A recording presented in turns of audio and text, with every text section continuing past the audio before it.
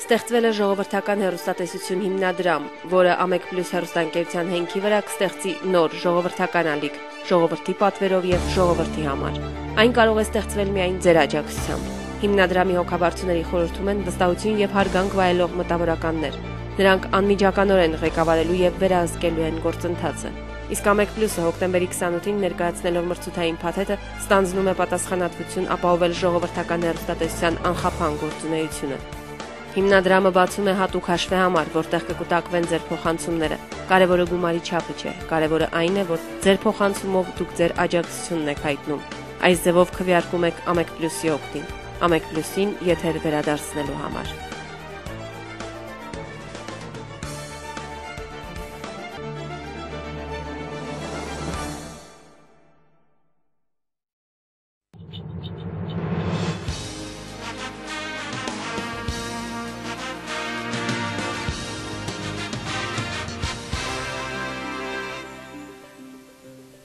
Բարերեկո սիրելի բարեկամներ, դուք դիտում եք Ամեկ պլյուսի պոստկրիպտում հաղորդաշարը եւ այսօր իմ զրուցակիցն է Հակ ներկայացուցիչ Գուրգեն Եղիազարյանը, պարոն Եղիազարյան, շնորհակալություն, որ համաձայնել եք մասնակցել մեր հաղորդմանը։ Բնականաբար այսօր հոկտեմբերի 27-ն է եւ մեր խոսակցությունը պետք է սկսենք այդ իրադարձություններից որպես ուժային համակարգում երկար ժամանակ աշխատող մարդ, որպես պրոֆեսիոնալ։ Դուք կարող եք ասել, ինչ պետք է արվել նախ այդ ոչրագործությունը կանխելու համար եւ չի արվել։ Ասեմ դες նախ եւ առաջ ԱԺ շենքը եւ բակը նախատեսված չէր մեր ժամանակների համար։ Դա կառուցվել էր շահգործման էր հանձվել 48 թվականին որպես կենտրոնական կոմիտեի շենք եւ այն ժամանակ խնդիր չկար շենքի պաշտպանության մասին այգու պաշտպանության մասին մտածելու, որովհետև ամբողջ եկիրը փակ էր։ Ընդհանրապես այդ խնդիրները չէին առաջանում։ Երբ որ այժմ տեղափոխվեց կենտրոնական կոմիտեի շենքը, բնականաբար նոր իրողությունների ժամանակ նոր խնդիրներ առաջ եկան։ Եվ ամենահետաքրքիրն է, որ հոկտեմբերի 16-ին մեր հանձնաժողովում եկել էր Սերժ Սաքսյանը, որն էր ձեր հանձնաժողովը, հիշեցեք ընտրեմ։ Պաշտպանության, անվտանգության հանձնաժողովի նախագահան Վահան Հովանեսյանը։ Հանձնաժողովի նիստի ժամանակ ես այդ հարցը խնդիրը բարձրացրեցի, որ շենքը պահպանված չի։ Ազգային անվտանգության նախարարն էր Սերժ Սարգսյանը։ Այո։ Որ շենքը պահպանված չի որ շենքը ունի բազմաթիվ երկեր եւ մուտքեր, որոնք որոնք հսկողությունից դուրս են։ Եվ այս պայմաններում, ման պայմաններում ամեն ինչ հնարավոր է շենք։ Հետաքրիրը դա ամսի 16-ն էր հետաքրիր զուգադիպություն։ Իսկ ընդհանրապես օպերատիվ աշխատանքներ, չգիտեմ, ինչ որ խմբերում, չէ, Նայիրի Հունանյանը եւ մնացած ուրեմն հանցագործները խոսել են, պլանավորել են, չգիտեմ եւ այլն։ Հնարավոր չէ բացահայտել նրանց մտադրությունները։ Գիտեք, դուք նոր այնպեսի հարց տվեցիք, այնպեսի մի ձևակերպմամբ։ Բախն անում է, որ ազգային անվտանգության Բարսաշյան սպաներից մեկը մայորի կոչումով այդ հետո արդեն նախաքննություն էր բարձել, որ զեկուցագիր էր գրել առայն, որ պատրաստվում է ահաբեկություն։ Այսինքն նման զեկուցագիր գրվել էր։ Ոչ միայն նման զեկուցագիր էր գրվել։ Ես իհարկե դրա մասին եթերև չեմ կարող ասել, այլ գախնի մասում կա երկու փաստաթուղթ, որը նաև խոսում այն մասին, որ երկու տարբեր անձինք նույնպես ինչ հանցագործությունը այդ մասին ահազանգել էին։ Փաստորեն դրանց ուշադրություն չէ դարձվել։ Այսինքն եթե ժամանակին եթե Սերժ Սաքսյանը լիներ դիրքերում որպես անվտանգության նախարար, ապա մենք հոկտեմբերի 27 չէինք ունենա։ Իսկ ինչով եք բացատրում այդ անտարբերություն, չգիտեմ, չկազմակերպվածություն, թե միտում, ինչով եք բացատրում, որ բացատրում որ այդ Ուրեմն բացատրում նրանով, ինչու որ հայ ժողովրդի մոտապես 90%-ը ավելի կան համոզված է։ Հնարավոր չէ մարդիկ չհասկանային, թե ինչի հետ գործ ունեին։ Վերջի վերջո Եթե կան նման նյութեր եւ կան ահազանգեր, այդ ահազանգները ընդհանրապես որպես կանոն պետք է ստուգվեն 24 ժամ ընթացքում։ Եվ 24 ժամ ընթացքում պետք է պատասխան տրվի այո կամ ոչ։ Ընթուք, ես չեմ ասում հաբեկությունը։ Սկսած հասարակ զենքի մասին հաղորդումից, եթե լինում է ահազանգ զենքի մասին, միջև հաբեկություն։ Անմիջապես ամբողջ օպերատիվ ուժերը պետք է դրվեն այդ խնդրի շուրջը եւ parzեն ճիշտ է հաղորդումը, որտեղ դե հաղորդումները, այսպես ասեմ, նո ես իմ ժամանակ ասեմ, մոտապես 60-70% իրականությանը չհամացան։ Գիտեք, ավելի նույն չափազության խնդիր կար, այնտեղ շահգործության տարբեր խնդիրներ կային։ Ինչևից է հանում են 60-80%-ն եմ հանում։ Նույնիսկ եթե 1%-ը ճիշտ է դրանց, ուրեմն պարտադրի 24 ժամ պետք է ստուգվի դա։ Իսկ կյանքը ցույց է տալիս, եթե չստուգեցիր, ուրեմն մի բան կլինի պարտադիր։ Եվ եղավ։ Այսինքն դուք չպատասխանեցիք հարցին։ Ես պատասխանեցի։ Ինչով է բացատրվում։ Ես ինքս ես կարող եմ իմ կարծիքը ասել, չի ցանկացել ստուգել։ Հասկանալի է։ Շատ լավ, իսկ ինչ չի արվել, դա ավելի բացահայտ հարց է, բայց այնուամենայնիվ այդ հարցն է։ Ինչը պետք է արվել եւ չի արվել այդ հանցագործությունը, ոչրագործությունը բացահայտելու համար։ Նախաքննական մարմինը որպես կանոն ցանկացած ծանր հանցագործության ժամանակ նախաքննությունը զուգ նախաքննության հետ զուգահեռ աշխատում են նաև օպերատիվ հատվածը։ Այսինքն, ներքին գործ այն բոլոր օղակները, որոնք օպերացիոնալություններ ունեն, լսում են տվյալ դեպքում ամտանգություն եւ ներքին գործի նախարարություն։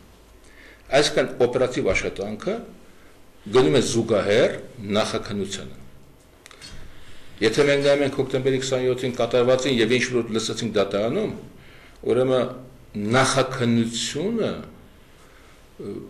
մնացել է անտեր անտիրական, որտեղ օպերատիվ մասը նրան չի օգնել։ Ձեզ բերեմ մի շատ բարձ օրինակ։ Նախաքննություն նախաքննությունը անցնում է այսպեսի մի լրագրող Տիգրան Նազարյան, որի մա միացյալ նահանգներում։ Տիգրան Նազարյանը ցուցմունք է գրում, որ ես սուրճ էի խմում, երբ որ լսեցի կրակոցները ռադիոյով, հետո կինս ասեց, որ ահաբեկությունն է, որոշեցի գնամ տեսնեմ Տիգրան Նազարյանին։ Կոմիտասից Տիգրան Նազարյանը գնում է նորք, հին նորք Տիգրան Նազարյանին տեսնելու։ Հետո ես հիմա ձեզ ասում եմ Տիգրան Նազարյանի ցուցմունքից։ Հետո Այնտեղ ասաց Տիգրան Տիգրան Նավդարյանը չես տեսնում կրակում են ահաբեկությունը։ Որոշեցի գնամ անվտանգություն։ Այսինքն հիմա դուք հանկարծ որոշում եք գնալ անվտանգություն։ Այդ ձեր որոշումն է դուք կարող եք գնալ, բայց այնտեղ ձեզ պետք է ընդունեն, չէ՞։ Այո։ Սա նորքից գնում է անվտանգություն։ Եվ գնում է ցուցմունքում։ Եվ որ ես հասա տեսա, որ Գորիկ Հակոբյանը խմբի հետ դուրս է գալիս, որ գնա ԱԺ, ԱԺ-ի շենք։ Իրանք իրանց հետ ինձ վերցեցին։ Այսինքն եթե հիմա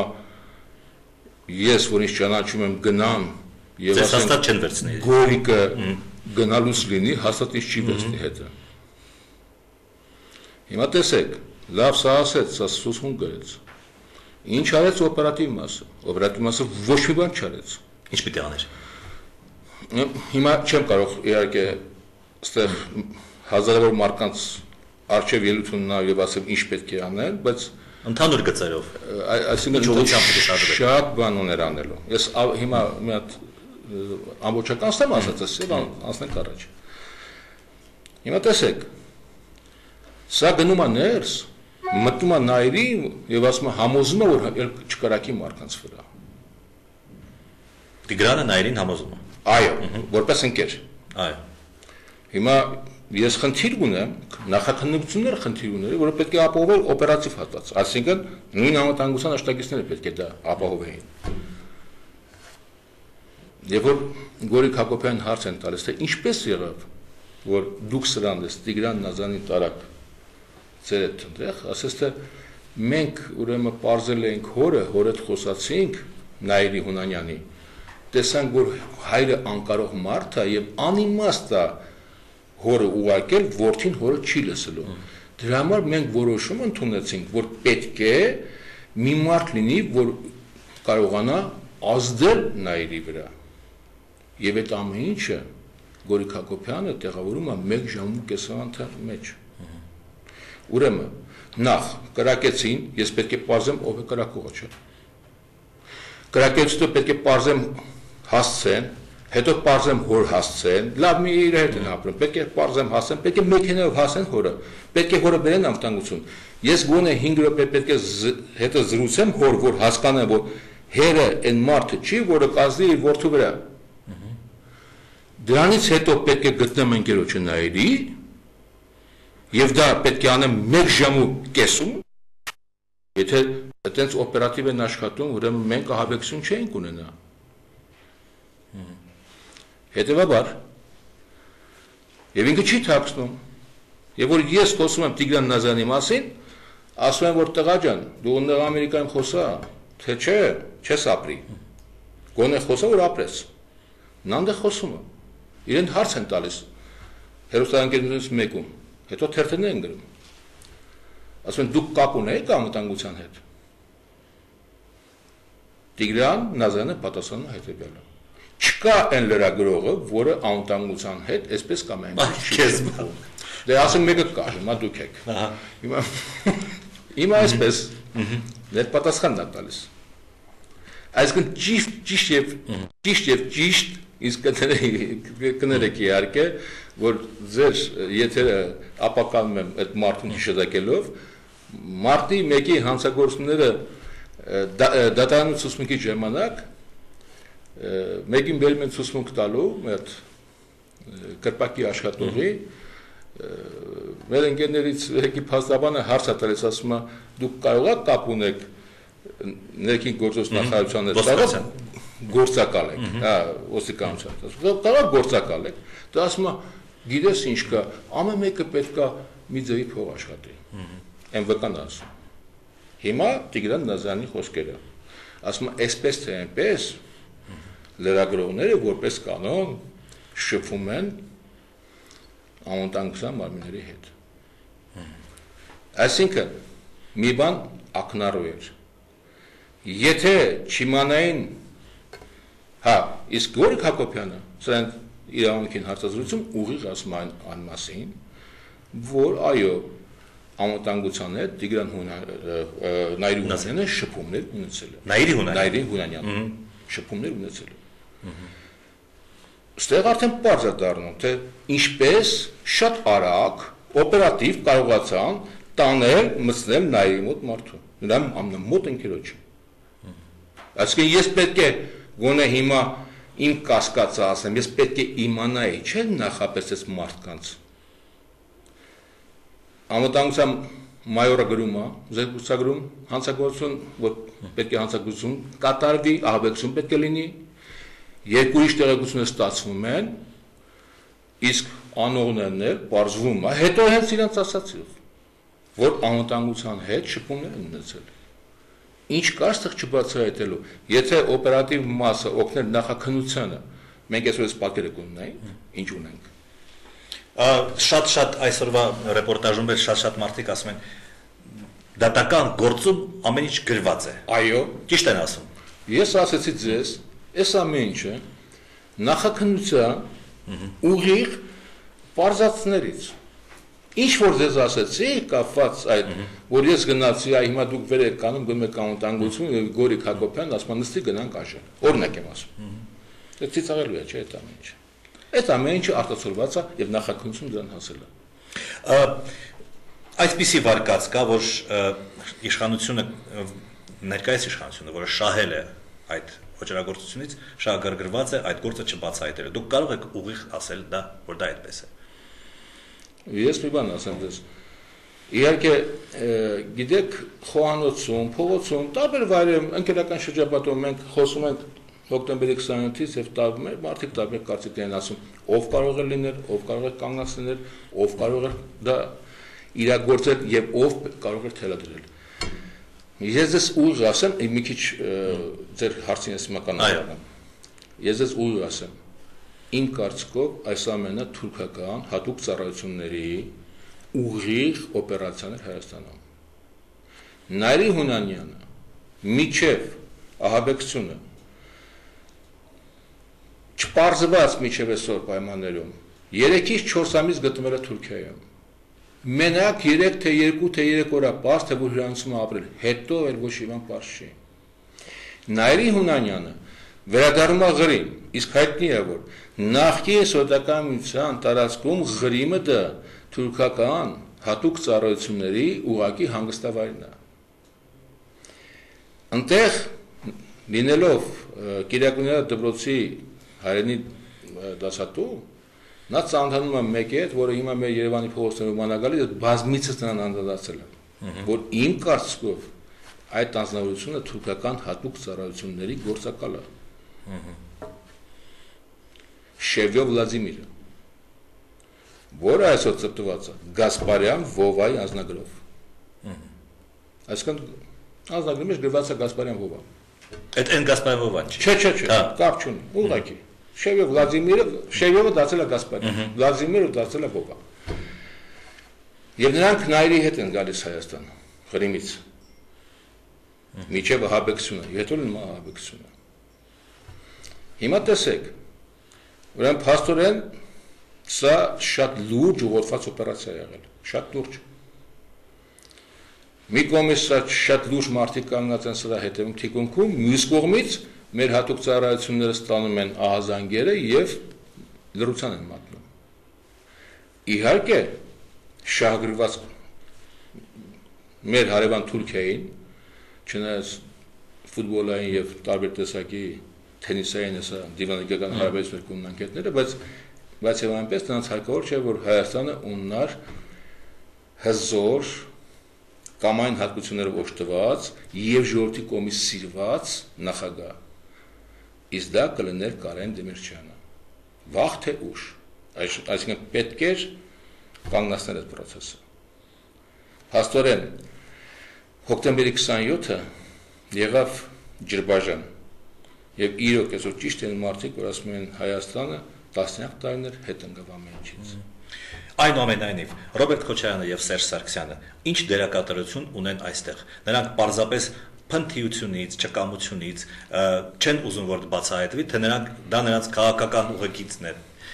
Սերժ Սարգսյանին կանչեք ձեզ մոտ եւ ուժ հարց տվեք։ Դուք չհասկացաք, թե չուզացաք։ Թող ուղու եթերում պատասխանեին։ Ինձ եք հասնում, իմ կասկով նա չի ուզեցել։ Շատ լավ։ Ռոբերտ Քոչյանը սովորաբար ինչ է ասում, երբ որ այսպիսի մեղադրանքներ են հնչում գլխավոր դատախազը Սարգսյանների ընտանիքի մոտիկ էր, հա, Բարիս Նազարյանը։ Գագիկ Ջանգիրանին դուք ուզեցիք, որ նա վարի նախաքնությունը ես համաձայնեցի։ Դե բացահայտեիք։ Ինչ կպատասխանեք դրան։ Գիտեք, հիմա ես հոկտեմբերի 21-ի գիշերը ասացի, որ մենք պետք է իմ ընկեր падգամավորներին ասացի, որ մենք պետք է սատարենք հանրապետության նախագահային, որպեսզի երկիրը չննի մի այնպիսի վիճակի մեջ, որ հանկարծ անկառավարել լինի։ Մենք ուղղակի վախները չի բերել։ Արևելքում ունենք Ադրբեջան, արևմուտքում ունենք Թուրքիա։ Այս պարագաներում մենք մենք չենք կարող մեր շռայլություն թույլ տալ, որ մեր ժամով երկու գունից մի քանի մի քանի րոպեով մենք նախագահ չունենանք հանրապետությունը։ Բայց, բայց եմ այնպես։ Ես չէ որ պետք է լինեմ Ռոբերտ Քոչյանի փաստաբան եւ փաստաբանը եւ Սես Սաքսանի փաստաբանը։ Գոնե հիմա իմ ընկերները դեռ բանտերում են։ Ես այսօր իմ ընկերներից 18 14 քաղբանտակյաններ դեռ այսօր գտնում եմ բանտերում։ Այդ երկուսով ուղղակի դրանց այդ երկուսի արյունոտ են ամսի 1-ի ոչրագործությամբ։ Մեզ հավաքեցին, տարան, բանտերում պահեցին, հիմա էլ մարդկանց պահում ես ինչ կարող եմ ասել մարդկանց մասին, ովքեր Երևանի կենտրոնում եկեղեցու հարևանությամբ ստիպեցին, որ հայը գնդակարի հային։ Այ հիմա դուք ինձ հարց եք տալիս։ Իհարկե, այդ մարդիկ ցանկացած բանի ընդունակ մարդիկ են։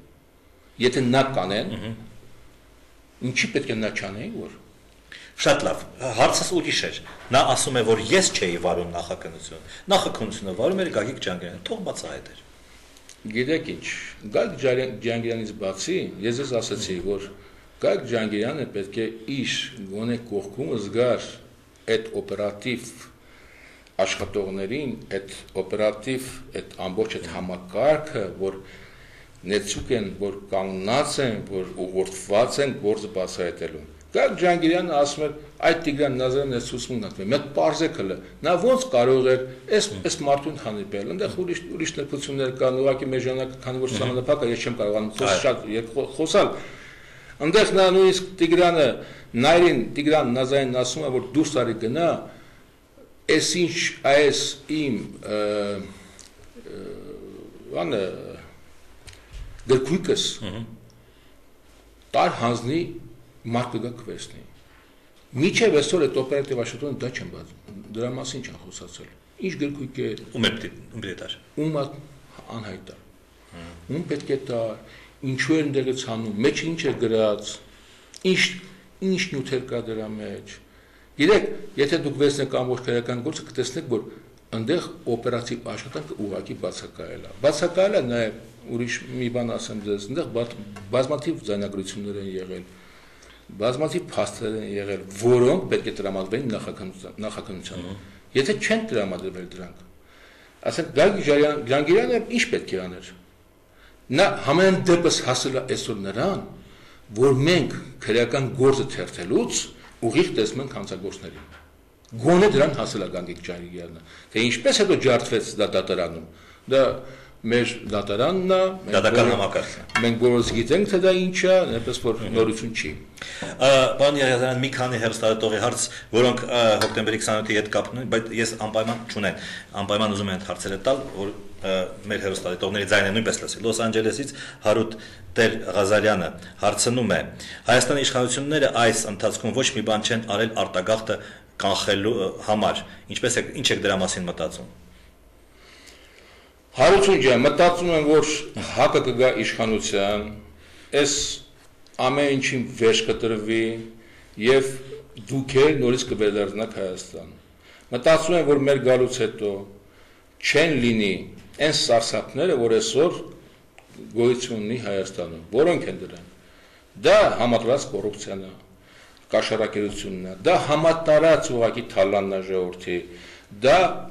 դրանք մոնոպոլիստներն են, որոնք ամեն օր կեղեքում են մեր ազգաբնակությանը։ Մարդիկ ստիփած գնում են օտարափեր։ Այ երբ որ մենք կգանք իշխանության, դուք եք նորից ինձ կհրավիրեք, ես ես խոստանում եմ, դուք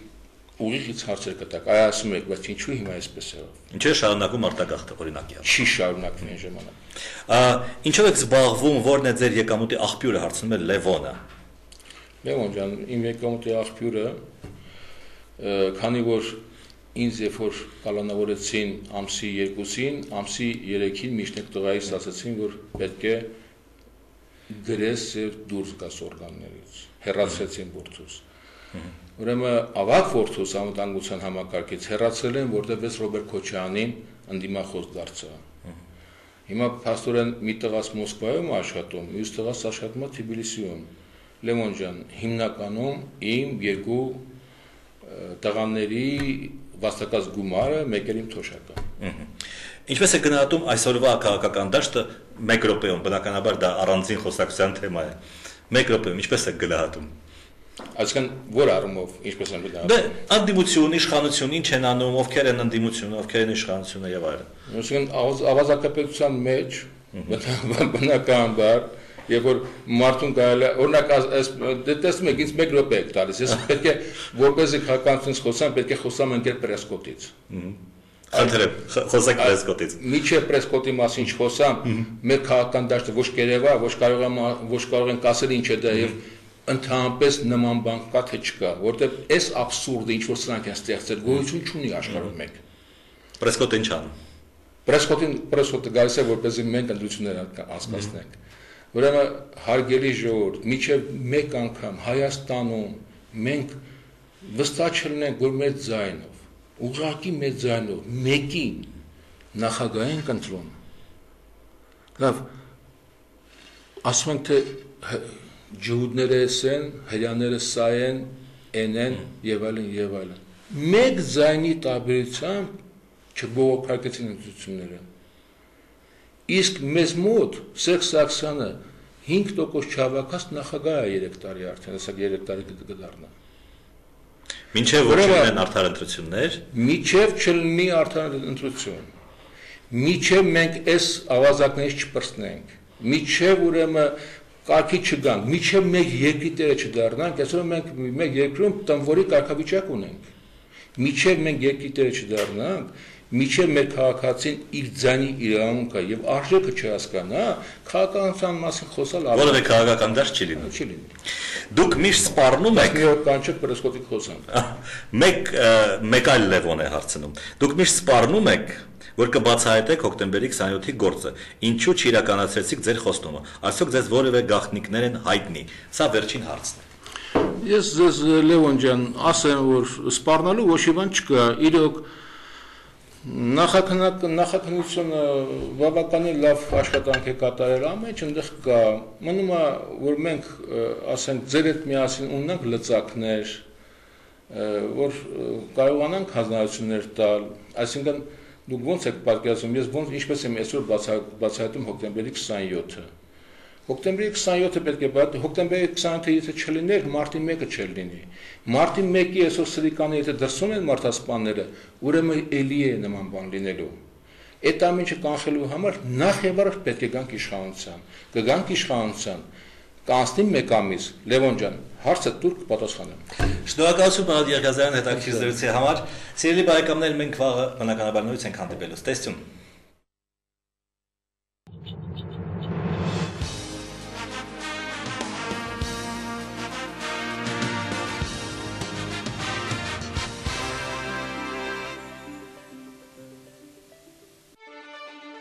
Ստեղծվել է ժողովրդական հերոստատեսություն հիմնադրամ, որը Ամեկ+ հերոստանգերության հենքի վրա կստեղծի նոր ժողովրդական ալիք, ժողովրդի պատվերով եւ ժողովրդի համար։ Այն կարող է ստեղծվել միայն ձեր աջակցությամբ։ Հիմնադրամի հոգաբարձուների խորհրդում են վստահություն եւ հարգանք վայելող մտավորականներ։ Նրանք անմիջականորեն ղեկավարելու եւ վերահսկելու են գործընթացը։ Իսկ Ամեկ+-ը հոկտեմբերի 28-ին ներկայացնելով մրցութային փաթեթը ստանձնում է պատասխանատվություն ապահովել ժողովրդական հերոստատեսության անխափան գործունեությունը։